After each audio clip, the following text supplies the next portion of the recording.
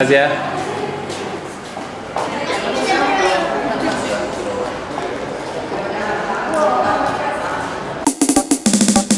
Hey guys. Eh, el otro día me acordé que hay una cuestión como con la mente y la negación. El cerebro para negar algo primero tiene que afirmarlo. Es por eso que cuando dice no mires para abajo, lo primero que hacemos es mirar para abajo y después no mirar.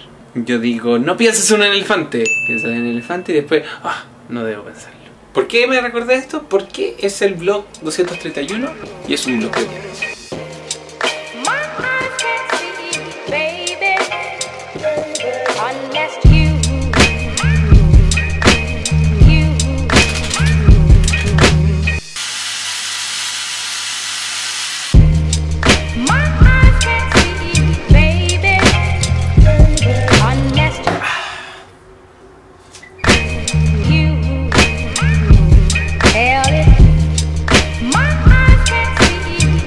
no pude grabar eh, estando en la pega porque mm, usé el tiempo que me queda para el almuerzo para editar lo poco que había grabado. Como para tomar eh, la bicicleta, me cambio la camisa por una polera, se me quedó la camisa dentro de la mochila. Y es un drama sin precedentes. Ahora vamos a un evento, pero antes tengo que contarle una anécdota. Hola, Monse. ¿Cachai que tengo un... No. ¿Cachai que tengo un amigo? Me dijo, weón, me encanta tu canal, me encanta, me encanta tu canal. ¿Por qué no tenéis más suscriptores? Y pucha, me dejó pensando. Entonces yo dije, ah, voy a hacer un trailer y le voy a poner Lucas y lo voy a publicitar. Pero después pensé, si encuentra tan bueno mi canal, ¿por qué no lo comparte? My Bueno, la cuestión es que mi compadre odia, pero odia a alguien muy famoso en redes sociales. Cada vez que esta persona famosa pide algo, él lo retuitea o lo cita, burlándose o comentando lo que ha dicho. Me, me llama la atención eso que a él le guste tanto mi canal, pero no me comparta, pero sí comparta a alguien que odia con el alma. Así que estuve buscando si había literatura acerca del tema y descubrí las razones de por qué compartimos lo que compartimos en redes sociales. Y el Salsa del Futuro las va a decir ahora. En general hay cinco razones por las que compartimos lo que compartimos en redes sociales para dar una buena impresión. Básicamente lo que queremos es decir, este es el que soy. La selfie es la mejor manera de compartir el quién soy. Es la más fácil de influenciar el cómo te ven y a la larga cómo te ves a ti mismo.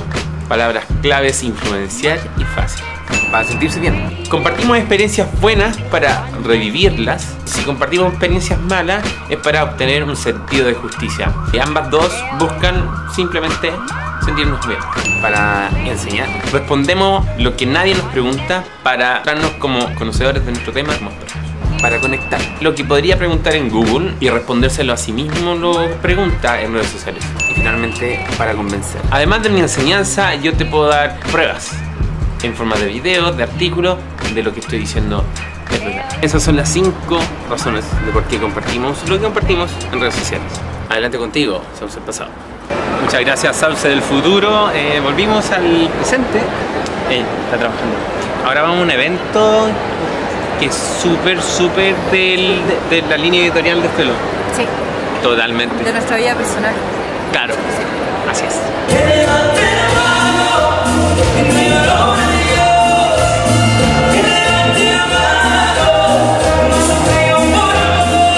I thought you were ready to give up. you.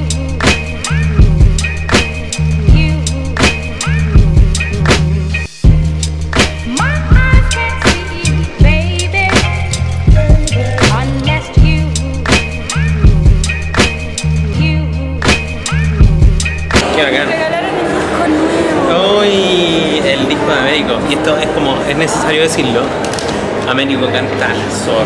Buen ídolo. Ídolo canta súper bien. Vamos a dar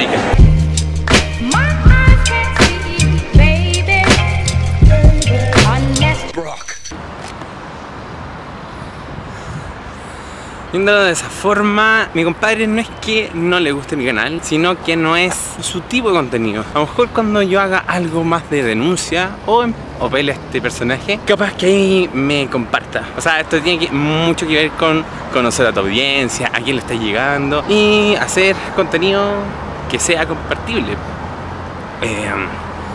Así que Si quiere compartir este canal, se lo agradecería, pero si no, estamos súper bien, no hay problema. Esto fue el episodio 231 y nos veremos el lunes. Ah, y lo que empecé diciendo sobre la negación, este episodio iba para un lado y se desvió totalmente para otro. Baby,